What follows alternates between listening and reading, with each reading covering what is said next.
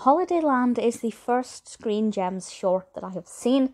This was actually the first in their Colour Rhapsody series and features Scrappy, who is one of their recurring characters.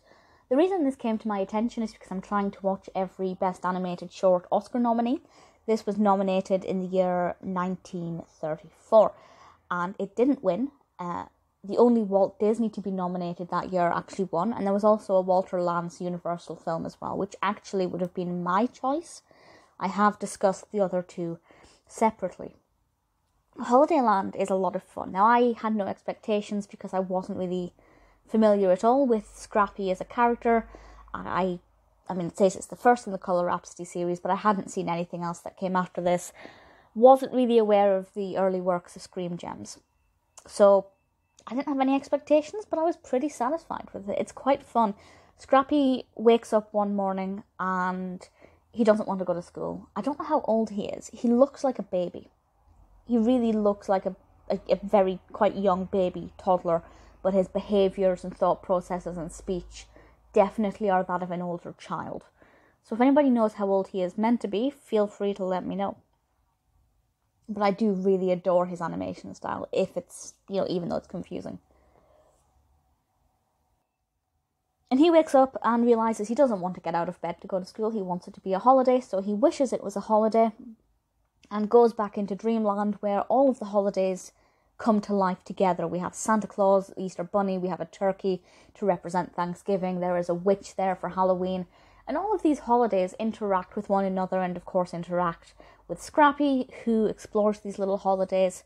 And the people in the holidays are a lot smaller than him, so it's kind of like like he's playing with toys, but they're alive and, you know, real in his imagination.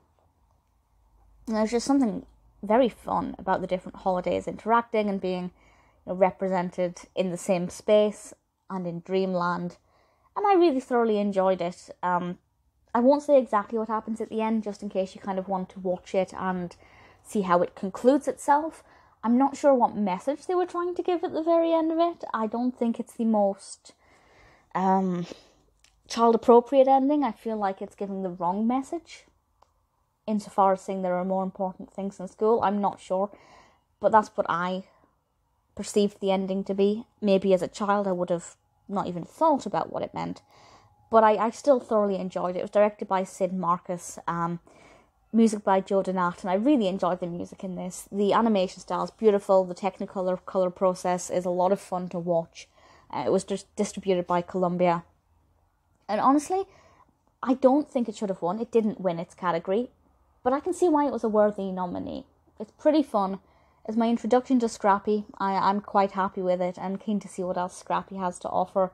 I don't yet fully grasp the style of Screen Gems or what they're trying to do with this series. I need to watch more of it to kind of be able to say yes i can confidently confidently confidently talk apparently not confidently talk about the colour rhapsody series. If you can recommend any shorts from the series feel free to but as an introduction holidayland is pretty special